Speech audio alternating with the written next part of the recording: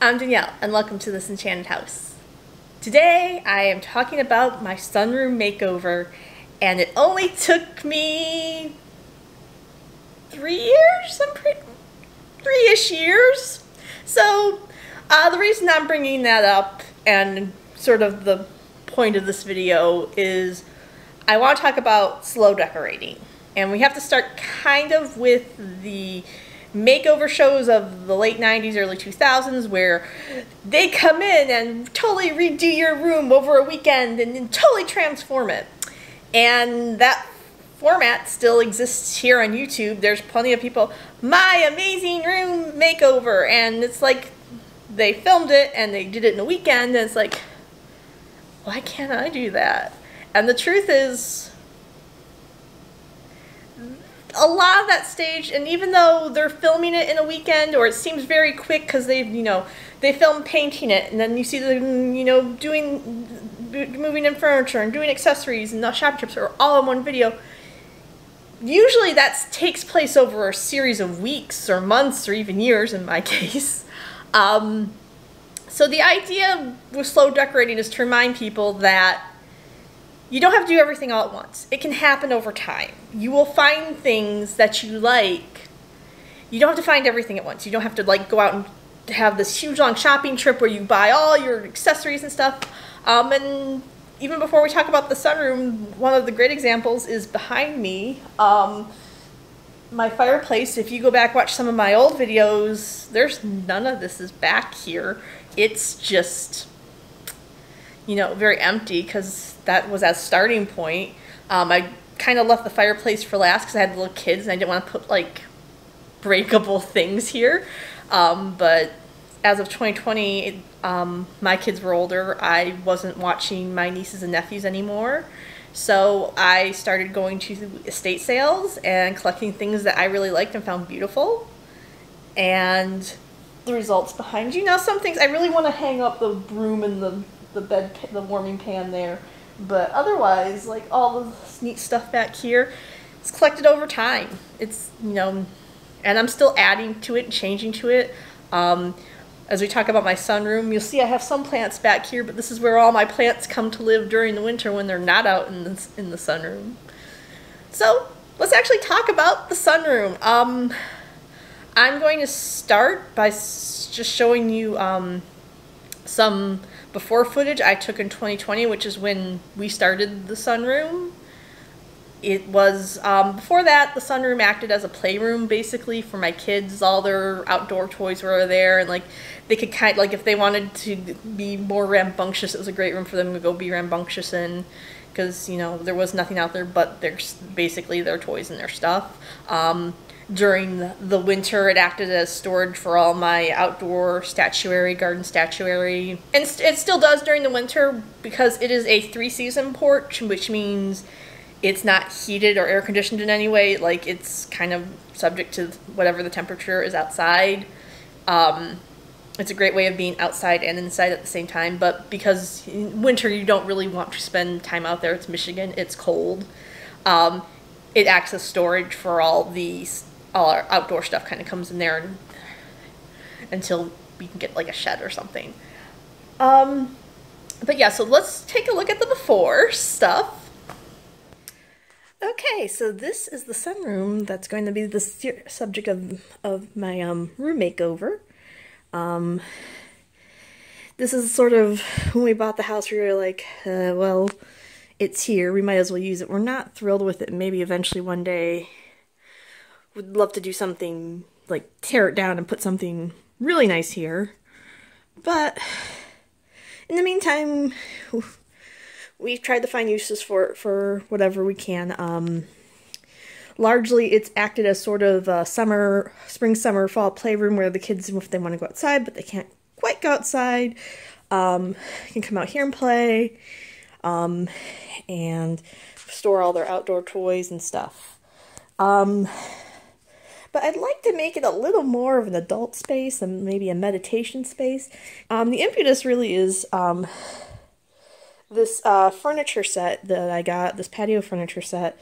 Um, it's one of those great things. Um, so I saw this set before retail and I liked it, but it was you know, it, it was like a thousand something dollars. Um, and as way out of my price range, well, I went to uh, the Restore for something else. Habitat Humanity Restore. So I'm gonna put, this is the thing here. I don't know if you can see. It costs me three hundred eighteen dollars for the settee, both chairs, the table, and all the cushions. Like the cushions are the big deal here. I'm gonna have to make covers for them, which is gonna be a bit much, but um. So because before furnishing the space was would have been like I wanted to would have would be sort of cost prohibitive. So it was but this was such a great deal. Um, and if you Habitat Restores, a great resource for getting furniture or building supplies, or even just like paints and stuff. They have like painting stuff and that they sell for a discount. So if you're doing something where you want to make something over, especially or uh, check, checking in on your habitat restores every so often is a great idea. Um, mine actually has a Facebook, and when they get new things they think people like, they post up there. So you, and if you don't go in that day, chances are you aren't going to get it. But um, so yeah, the toys are going out. Also, you're seeing a lot of like fairy statues and stuff. Um, it's spring, and I have to put these out. This is also this room acts as storage, especially during the winter for a lot of gardening stuff. So my little fairy statues, which will go out in my yard, are in here right now. Um, I'm hoping I can kind of reclaim my greenhouse too and start doing seeds again.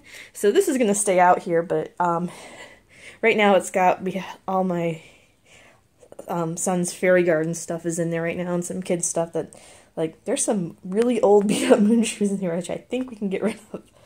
Um, but you see, there's toys out here. This is my cat. Some and some gonna stay. Like these, like these castle building bricks and stuff. Some of the toys are gonna stay. Hopefully, we can get a little better toy storage over in the corner over here, better than this tub.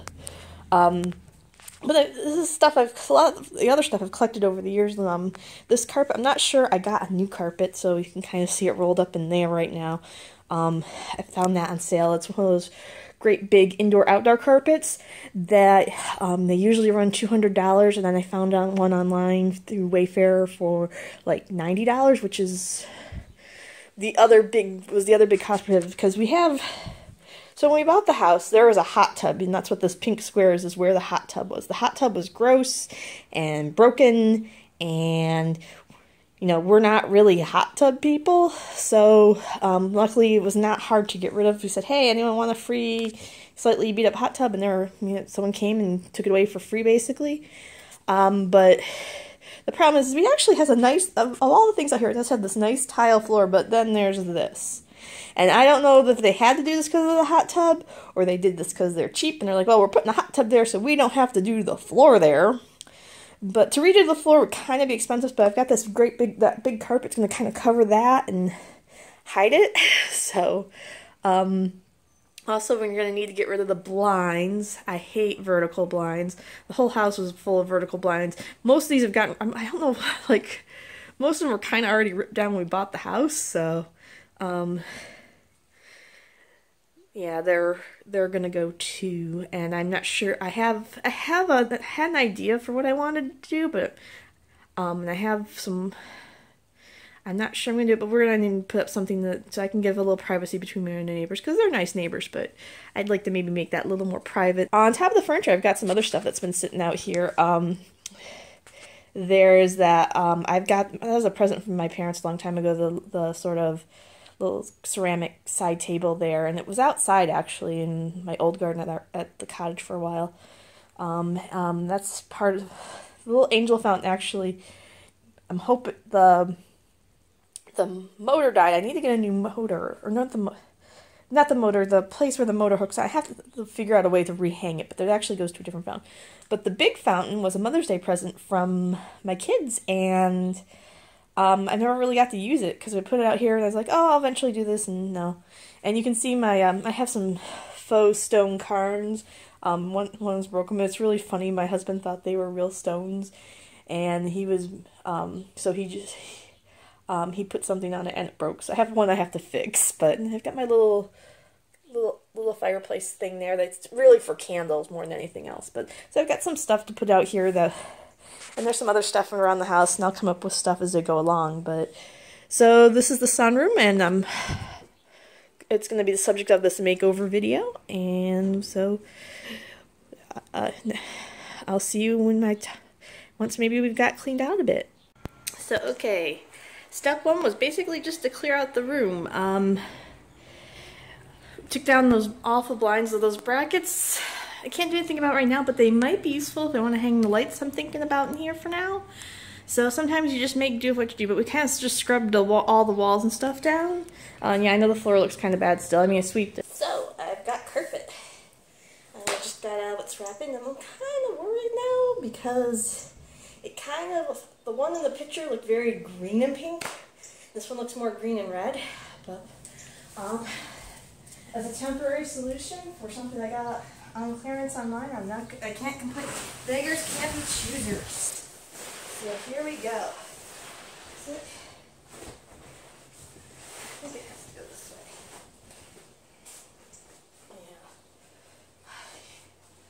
Yeah.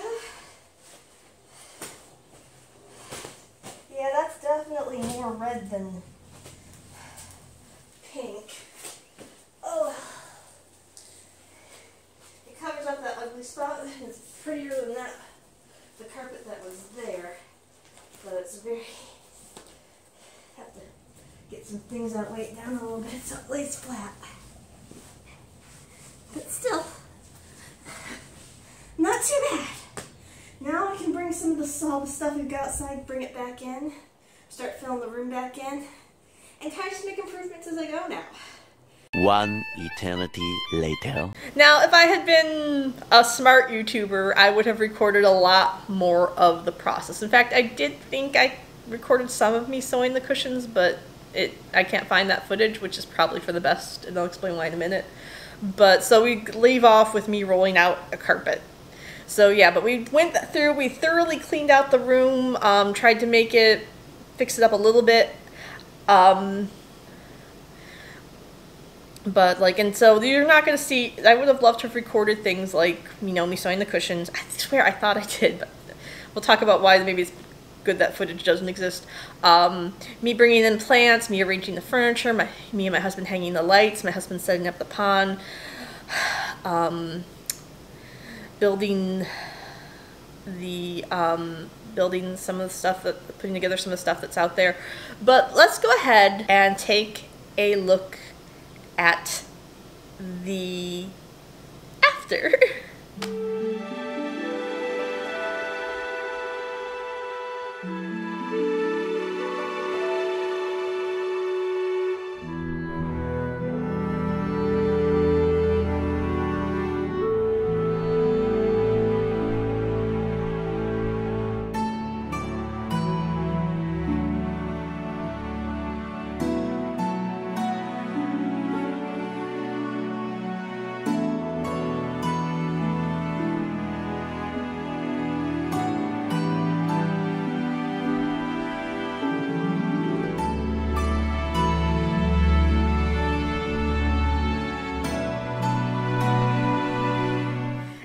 it turned out pretty good. And I'm going to give you guys a more thorough tour here in a minute, but there's just some things I want to add.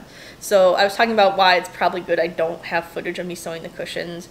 Um, I actually was like kind of gung ho. I'm gonna like I'm gonna do this and do the all this at once type decorating in 2020 because you know we needed stuff to do. Um, so I actually bought the fabric about the same time I bought the carpet. Um, and like and I was gonna like sew those cushion covers like I have time. But the thing is, usually I like to sew in our dining room um, because I like to sit at the table and I like have working at waist height. But at the time, my son was doing school at home, so I had set the dining room up to be his classroom. And I was like, no deal, I will totally Rachel Maksy it and be a floor troll and I can sew things on the floor and I got so frustrated so quickly and so cushions got put away and I was like well so for 20 for the rest of 2020 20, well into 2021 you know that was my son's classroom and projects a lot of times got put on hold because that's where I would like to set up and do projects and, but I didn't want to like disrupt his you know I couldn't do that while he was in school and like I, I don't know didn't want to move his stuff around too much while you know mess him up in any way. So the cushions got put off until this year and I finally sewed them and I just you know took it took me like about two days total to do. I cut um, because not like time wise, I probably could have got all done one day, but I had to split up between two days because I had other things going on. So I, one day I just cut all the cushion fabric out, and then the next day I just went through and sewed, sewed, sewed. And so you guys will see that in the tour. Um, but the other thing I want to touch on is that like this was a slow decorating process and things accumulated and things there were things I found that I didn't know I wanted out there that I put out there and you'll kind of you'll see you'll I'll let you guess what that was but um, so here is the tour and I hope you enjoy it. Let's take a look at the finished sunroom. Come on in guys. Um, like I said, this is a very slow process, so I'm just going to kind of walk around talk about some of the things. Um, the obvious thing is this is the furniture set that was in the before videos that I got at the Habitat for Humanity. Um, and like I said, it came with the cushions, and I found this fabric. And uh, this is, uh, I made the, I, I sewed the cushion covers myself. Um, and that was a little bit of an ordeal. I talk, I'm going to talk about, I talk about here, but um, I really overall love how they came out. I love how they match the carpet. Um, it's like they complement each other. It's not exactly the same, but it's like the same color palette. And I've got this great little arrangement here now. Um, and so there's a lot of, this is like where we come out now and we have like dinner out here or we can sit out here and read or sit out here at night and watch fireflies in the yard. We have dinner out here a lot. Um, it's just a great relaxing space. Um, my husband got this uh, wireless speaker and it lights up and so we can put music on at night. Um, over here are some of my plant stands and just I talk about a variety of sources, uh, this one I recently got an estate sale a couple weeks ago, so this is a more recent edition. And this is one from a big box store. Um, my plants are from a local plant store called the Conservatory, and they will come inside when it gets cold out, but I don't know. I find they do really good out here. That's it's nice and warm. They get the right amount of sunlight. Um, I've got another one over here on my ceramic little side table. Um, and then we have to talk about the peacock chair. So I know it's not in the best of shape, but this was an estate sale find. I think I paid like five dollars for it, and it's mostly out here to look pretty. I will say is probably the least comfortable seat out here because it, it, it, you have to sit upright. You can't like curl up in it. You have to sit in the throne position. um, and it's not bad, but you, to sit out here and lounge is not quite as pleasant.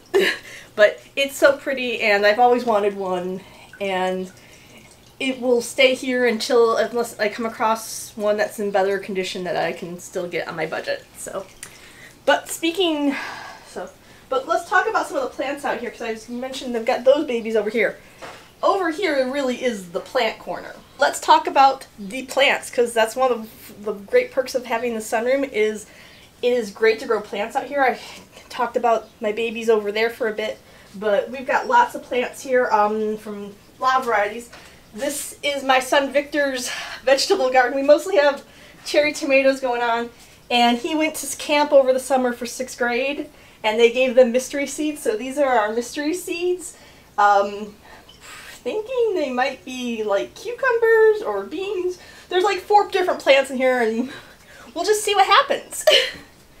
um, then this plant shelf, it was an amazing find. Um, recently we cleaned out my grandparents' barn and we found this wonderful cast iron shelf that used to sit on my grandmother's uh, back porch and this is where she kept all her plants and I was like so thrilled and I mean it's kind of empty because I just got it, but like before all the plants were on the floor, so now I have all this room for more plants.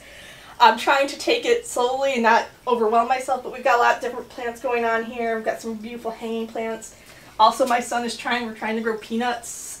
So, but I'm hoping more as time goes on, I can fill this up more over time. And then we also have some plants over here. We have our citruses and some empty pots. Um, also, you notice I've got a lot of my garden statuary out here. I don't know it's I'm not sure. Where, last time I didn't know where to put it in the yard, so it's kind of taken up residence out here. So, sort of an indoor-outdoor garden feel. Um, I have the fan off right now because I want you guys to be able to hear me. the fan is essential for out here. It keeps the breeze out here all the time. It makes it, you know, the airflow. So it's never too hot out here. Also because it's the sunroom itself, like I kind of said when I was going through, it's kind of this, you know, it, it it's like this manufactured thing that they, the previous owners put on, but it does have like these nice big screens we can open up, and when we get a breeze through here, it feels really good out here. Um, also off right now is the waterfall because it is also very loud. Um, this was a gift for my kids for Mother's Day a while ago. Um, my husband finally, or I shouldn't say finally, uh, my husband put it together for me, and it's really it's nice and it flows. Um, we don't run it a whole lot because it does have a lot of splash and it creates this little splash zone and it can, can be slippery in here. When we want like a watery sound or just have it on, it's very aesthetically pleasing. I've got more garden statuary, but the water you are hearing is from our patio pond. Um, this is something my husband put together and I absolutely adore it.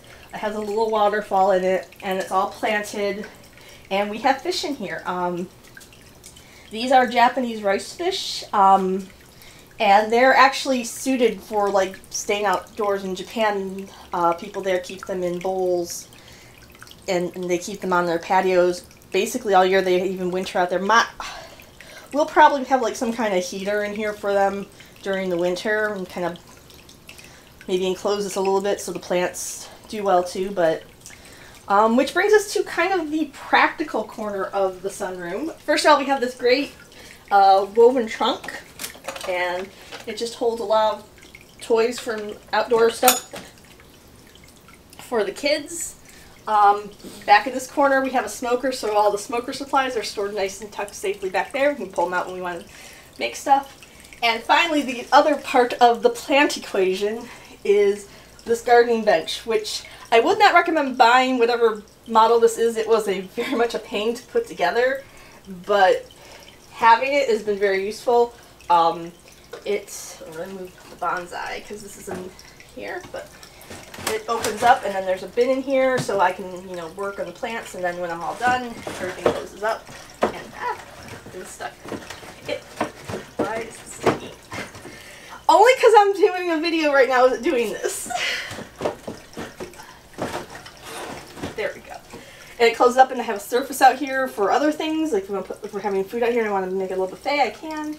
Um, yeah, we, I'm like, this is from a bonsai from a place called the Flower Market in Dundee where I also got some of my plants and um, we're just trying it out because they have a great selection of bonsai, but um, there's some decorative stuff. Like I have these cute little lanterns, but there's a lot of practical stuff like my watering can and my tools and the um, my misters out here.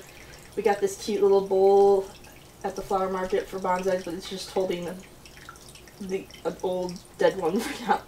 Um, but this is so this is the practical end of things for the most part. Um, store. I've got all my plant stuff stored in here, extra pots. This is all soil, and then I've got like different soils and mediums up here too, depending on what I need. Lots of extra pots and extra bits down there. So the last thing I kind of wanted to talk about was um, the lighting in here.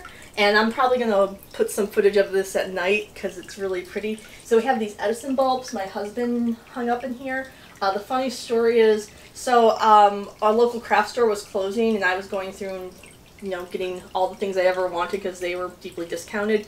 And they had this box that said industrial lights, or industrial light string for Edison bulbs. And I was like, oh, I'm going to buy, oh, that was like a great deal. It was like, I think they were like eleven dollars each, and so I bought them, and opened them up, and it was the string and this, but there were no bulbs. so my husband bought me these really pretty Edison bulbs, and it's so beautiful out here when it's lit up. Um, it reflects in all the windows, and it just seems well enchanted. Um, and then we do have one other light that hangs over the couch. That is um, solar light that so it lights up every night regardless of what we do. These have a uh, the ones hanging up have a switch, but and it's also got an Edison bulb in there, and it just looks really pretty out here. Like I said, we like to come out here at night. It's very relaxing. So, but so this was your tour of my enchanted sunroom. I hope you enjoyed it.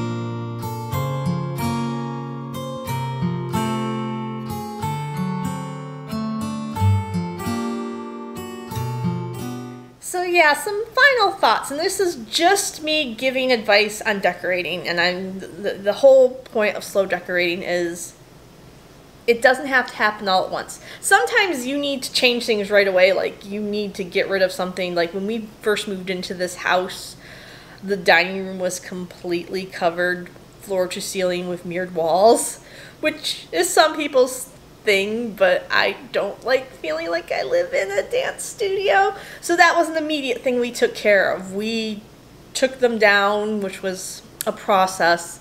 And um, luckily, oh, I don't know, the walls weren't in great shape, but luckily the thing I wanted to do is I've always kind of liked the Venetian old world plaster look.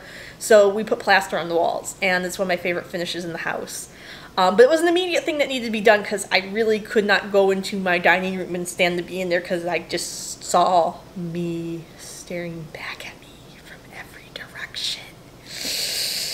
And it's like I said, that's a personal thing to me. There might be people out there who are like, mirrored walls, that sounds great. Um, but sometimes there are like things you want to do immediately because it's like you just cannot stand it.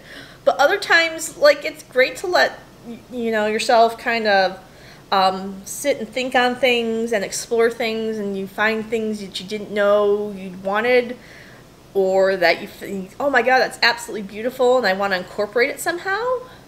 Um, and so my advice to you if you are decorating any room in your home is don't feel you have to do everything all at once. Even with the dining room, we did the walls right away, but it has kind of shifted. Originally, I was going to go wanted it to look very medieval and um, rustic, and it's kind of shifted more because I got more into steampunk, and um, my husband's very into sort of adventure um, Indiana Jones type stuff, it's morphed more into what we call the Adventurers Club, and there's all sorts of sort of like steampunk art and stuff. And it's still those walls still work with that. There's still sort of this Victorian version of medieval going on, um, but the the room's changed and is adapted as to we've kind of figured out more what we want going on in there. So slow decorating. Um, I hope you guys enjoyed my sunroom. Um, we enjoyed immensely. It's just one of my favorite spaces in the house. To, like I said, we spend a lot of time out there now. Um, I do like to go out there and read. Um, I mean, I'm looking out, that's right over there. I do like to go out there and read. Um, we, we eat out there. Um, it's just, you know, it's just a nice, pleasant place to go meditate. Um, and um, I'd love to hear from you guys. I'd love to hear what your thoughts are on my decor. If you don't like it, that's okay. And let me know why. Maybe you have some great criticism I can take and use as I move forward. Um, I'd love to hear about your spaces and what you've done and how you, you know, if you if you are a slow decorator, how what what your process is like. So leave me comments below. I'd love to hear from you guys. I'd love to hear your thoughts. Just listen, if you want to say hi, hi. I'd also, if you want, you can connect with me on social media. I have links to my Facebook, Instagram, and Twitter below. I will say I'm probably most active on Instagram, but Facebook and Twitter, I will see you guys there too if you, you know, hit me up. If you like this video, please go ahead give it a like. Uh, please check out my other videos. I do a lot with cottagecore and enchanting and decorating and aesthetic. Um, so check them out. And if you like what you see here, please subscribe. And you can always catch up with the latest and the greatest that way. I hope you guys have an enchanted day, and I'll see you guys next time. Bye!